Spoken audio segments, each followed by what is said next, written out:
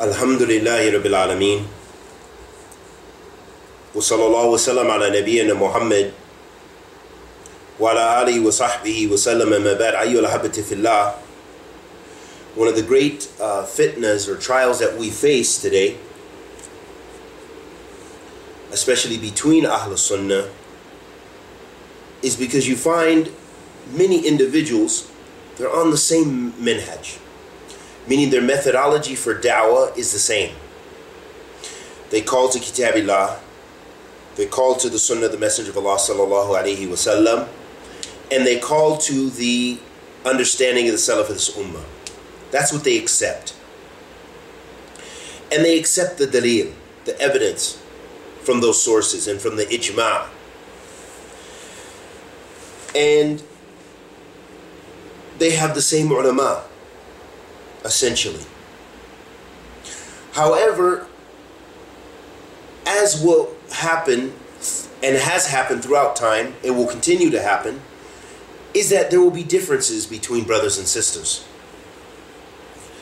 And that they will differ sometimes over issues, even though they have the same madhab, the same minhaj in understanding Islam, that they will have differences about how to practice some of those things. So the minhaj is there. But yet when it comes to making a hukum or a ruling on maybe a particular individual, for example, this is one of the fitnas that we face in this time and age, is determining when specific individuals are no longer from the sunnah, uh, following the sunnah of the Messenger of Allah sallallahu alaihi wasallam. When we say they're no longer from Ahl Sunnah, or they're no longer Salafi, or they're no longer what have you. This fitna comes, ayyul fillah, and will continue to be. But this should not be a source of discord and disharmony between Ahl Sunnah. Because we should not be forcing our view upon others. And I'll give you an example of myself. With regards to the statements I've made about particular individuals. I would never make ilzam, force others to take my view. I brought dalil from Kitabillah wa Sunnatul Rasul sallallahu alayhi wasallam in the aqwal of the Salaf or, or, or the ulama of this time to support my view about a particular individual and his mistakes. But I would not say to one of my brothers who may listen to him, you're off the sunnah if you listen to him. Rather, I would advise him I would be patient with him or her and try to illustrate with knowledge and with wisdom and with good preaching why I hold this view. Not that I want them to be like me or want them to follow my view, but instead because I really believe that and that person is a harm or has some statements that are harmful that I feel the individual or others need to be aware of. But when it comes to forcing other people, that I don't, we don't have the, the uh, authority to do so. Likewise, fillah, this issue arises countless times. I can think of so many individuals who've been declared innovators because they didn't declare someone else to be an innovator. Basically, the, some of the brothers hold the qaida they say that men lam yubaddi' al-mubtadi'a fuhuwa mubtadi'a. They say whoever does not uh, consider an innovator to be an innovator, then he is an innovator. Okay, we can look at this qaida and we can understand the haqq of this qaida if what is meant that you're talking about someone who there's no question they're an innovator. No question that this person has deviated from the religion of Islam clearly without doubt. Just like the Prophet ﷺ spoke about rebelling against the leader, that you should not, uh, as far as making takfir and rebelling against the leader, that unless there's kufr, uh, kufr bawaha, there's clear kufr, clear disbelief from a law that you have dalil, uh, barhan, that it's clear, there's no doubt. The ulama are, uh, have agreements about that, that is kufr, and, and make a, a hukum, some ulama or what have you, make a hukum on that particular leader or that person and uh, declare them to be a disbeliever. So the point being this, not that everyone has to have agreements. This is not my point. Before you can make a hukum. Abadan, I'm not saying that. So don't say that I'm saying that. My point is this, is that when we perhaps, for example, if I made a mistake in speaking about a particular individual, Nu'man, I spoke about Nu'man Ali Khan, and I spoke about Imran Hosein. Those are some people individually, and, and, and Dr. Yasir Qadhi. I spoke about them individually and I've said statements about them. And I tried to do it with gentleness uh, and with manners and with evidence, most importantly, with evidence. I, none, none of those individuals can say I did not bring kitab or sunnah, kitab or sunnah to authenticate what I was saying without any strange ta'wil. No. No strange ta'wil. Bi'idnillah ta'ala. So being just. Bi'idnillah ta'ala. However, the fact that someone may disagree with me does not necessitate me forcing my view or attacking them for having another view because I could have made a mistake. This is the point. No one is free from mistakes. And no one's statement, and this is what we said in the last sitting about uh, related to minhaj and related to uh, speaking about individuals and so forth, is that no one is ma'soom except the Prophet sallallahu alaihi wasallam as far as, far as uh, following individuals and mashayikh and ulama. Everyone, as Imam Malik said, uh, can be refuted or can their call can be accepted except the inhabitant of that qabr and then he pointed to the grave of the prophet sallallahu alaihi wasallam here's some beautiful a beautiful statement of Shaykh al-Islam Ibn al-Qayyim rahimahullah ta'ala will read the statement translate it and that that will be sufficient uh, his kalam the kalam of a great uh, imam قال ابن القيم ابن القيم رحمه الله تعالى وأن العالم قد يزل ولا بد إذ ليس بمعصوم فلا يجوز قبول كل ما يقوله وينزل قوله منزلة قول المعصوم. فهذا الذي ذمه كل عالم على وجه الأرض. وحرموه وذموا أهله.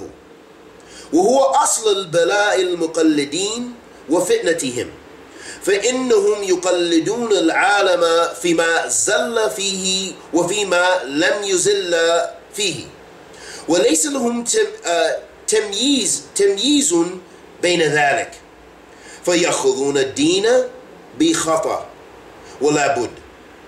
فيحلون ما حرم الله ويحرمون ما أحل الله ويشرعون ما لم يشرع ولا بد لهم من ذلك. إذ كانت العصمة منتف منتفية عما قلدوه والخطأ وخطأ واقع منه ولا بد Ibn al-Qayyim rahimahullah ta'ala said a beautiful and profound statement which is sufficient for us. قال this great imam rahmatullah alayhi he said and an alim uh, might make a mistake. And this is absolutely for sure, meaning it will happen. Every alim, every person is going to make a mistake. As the Prophet ﷺ said, The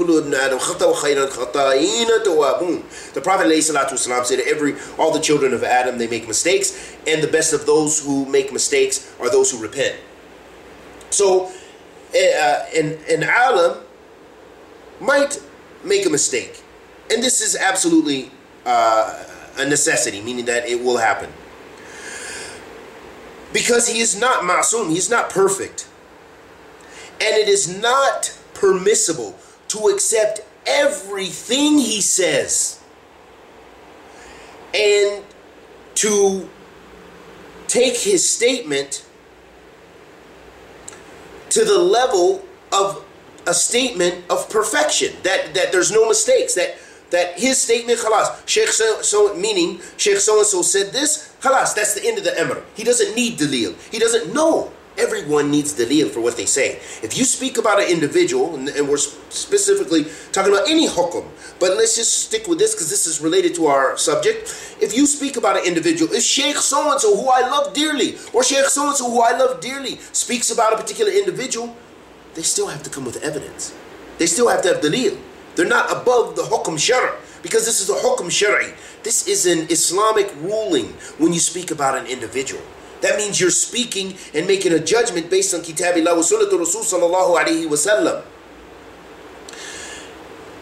Then the Shaykh said, Shaykh al-Islam, rahmatullahi he said, it is not permissible to accept everything that he says. And take his statement, raise his statement to the level of someone uh, uh, uh, of who has perfect statements. And then, then this is what all the ulama consider dispraiseworthy. All the ulama on the earth consider this to be dispraiseworthy or unpraiseworthy. And they make it haram to do so. And they uh, speak ill of those who do this, meaning those who blind follow in every matter, you know, and believe that their sheikh or believe whoever is free from mistakes. And this is the main foundation of fitna or trials from those people who are blind followers and from their fitna and from their the fitna that they they have for verily they follow uh, a scholar, an alim, in his mistakes and in what he is correct with. And they do not have the tools, and we've said this many times as well, they do not have the tools to distinguish between those two, between mistakes and between that which is uh, uh, correct. So they take their religion uh, mistakenly. And this is absolutely a necessity that they're going to fall into this error. And then they make uh, what is lawful and uh, what is unlawful by a law lawful. And they make haram what Allah has made halal. And they legislate what is not legislated. And this is a necessity that they'll fall into this. So, this uh, perfection is negated or is, is something that the person they blindly follow does not possess. So, then in this case, a mistake uh, will, will happen, and that's for sure. That's the statement of Shaykh al-Islam Ibn al-Qayyim letting us know. And that's why, ayyul habati fillah, to make this a little more clear for us, our situation, that when, for example, a brother speaks about another brother, he says so-and-so is a mubtadi'ah, then maybe he goes to one of the mashayikh, and he, he gives the sheikh, maybe he gives an accurate picture, maybe he doesn't. This is another issue. He might give an accurate picture, and he may not give an accurate picture. Then the sheikh makes a hukum based upon what he heard. So and so is a mubtadi'ah. He's misguided. Don't listen to him, or what have you. Then this spreads around the world, of course, through the internet and this and that and the other. And you see, we already know the results from these kind of cases happening. So, ahabatifillah, it's upon us to be truthful it's upon us to be just. It's upon us to operate be dalil from Kitab wa Sunnah and the understanding of the Salaf of this Ummah. And likewise, to know that every hukum, even if it came from one of the great ulama, and this is not to take away from the ulama, so don't make a statement that I'm saying not to take from the ulama. وَعِيَاذٍ بِاللَّهِ مِنْ ذَلِكَ And whoever says this about me, may Allah subhanahu wa ta'ala give them their just punishment in this life if they lie about me for stretching and lying about these things because we love the ulama. And we need the ulama. And we follow the ulama in accordance with kitab wa sunnah and understanding the salaf of this ummah. Ahabati as I was saying, a situation might occur and there may be a mistake make, made because there's a qa'idah sharia also that we're going to mention real quick that because I want this to be beneficial that we take principles from this. Go back and memorize these principles so you know it's going to help you practice your religion. I'm trying to share little bits that I learned. Well, alhamdulillah. And that's what learning is. We're supposed to build one another. And you share that, and they build, and we build, and we build, and you'll be better than me, and the next one might even be better than you. And maybe you'll go seek knowledge and be better. And your children. Pass the knowledge on bi'idnillah ta'ala. Ahabatifillah, the ulama say, this is a, a, a, a, a, a qaida fiqhiyah. Al-hukm ala shay far'in ala tasawwuri. Which means, the ruling, to make a ruling on something, a part of making that ruling or judgment is that you have an accurate picture. That's beautiful. That's a qaida shari. If only we would practice that. So what that means is if you have a brother, for example, if myself, let's just use myself an example. If I go to a sheikh and I say so and so in my community, who the sheikh has doesn't know because I'm from America, Seattle, Washington, and I say so and so in Seattle is like this sheikh, and I give some characteristics, and say if I lied, billah, and I lie about this individual, and then the sheikh makes a hukum based upon what I said, the lie. Or what have you. It could be the other way too. Al-hukum ala shay far'in ala tasawwurihi. That when the sheikh makes this judgment, a part of that judgment is affirming and knowing and having an accurate picture. That means he has to have, to make an accurate hukum, shari, he needs to have an accurate picture of what's going on of what's going on in that society or what's going on with that individual if you're talking about an individual. And this is what sometimes we have nucks with some of our brothers and sisters. And I'm going to give you a beautiful example of where it was, uh, it made me happy, and it's recorded it's on my YouTube page. I asked my sheikh, one of our mashayikh, Sheikh uh, Saeed Halil, uh, Hafidullah Ta'ala in Hayal. And I asked him, and I made a, a, an accurate description of what Yasir Qadhi said. I just took some of what Yasir Qadhi said in context, and I gave the sheikh uh, the picture so the sheikh could give us advice, and that, that advice would have more weight than if I had spoke against something that I knew was wrong. The sheikh made a hukum. What did the sheikh say though that was so beautiful? And I love it. I encourage you to go back and listen to the maqta or the the uh, the the soundbite or what have you that's recorded about Yasir Qadhi from Sheikh Saeed. The beauty of that is the Sheikh said, well, the first thing he said to me when I described about, I said, I gave Yasir a good picture. I said he's a, a very studious individual, you know, graduated from Jamiah Islamiyah. He knows the dawah because he was, you know, active and sitting with ulama in Saudi and blah, blah, blah, blah. But he said this and this and this, which goes against usul, uh, ahl sunnah. Usul, ahl sunnah, fi mukhalafat. I gave the sheikh a picture. What did the sheikh say the first thing? And this shows us this is how we need, and we need our ulama to be as well. Is he said, if what you say is true, that was the first thing he said. And that was beautiful. The sheikh has known me now for 11 years now. I've known the sheikh. I was with him in 2000 is when I met him. He knows me and he considers me trustworthy and he knows I'm not a person of fitna bi'idnillah.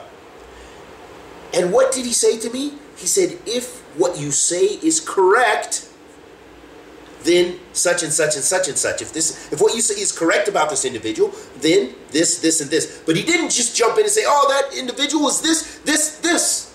But he he made to to act it because he knows that he is now involved in this and doesn't want to be held accountable before Allah subhanahu wa ta'ala for being unjust.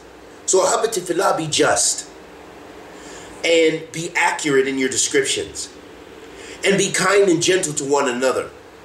وَتَوَاصُوا بِالْحَقِّ وَتَوَاصُوا بِالصَّبْرِ And, you know, ta'awan ala birr wa taqwa. Work together in, in, in, in righteousness and in piety, uh, God consciousness, fearing Allah subhanahu wa ta'ala, cooperating on khair, and be patient.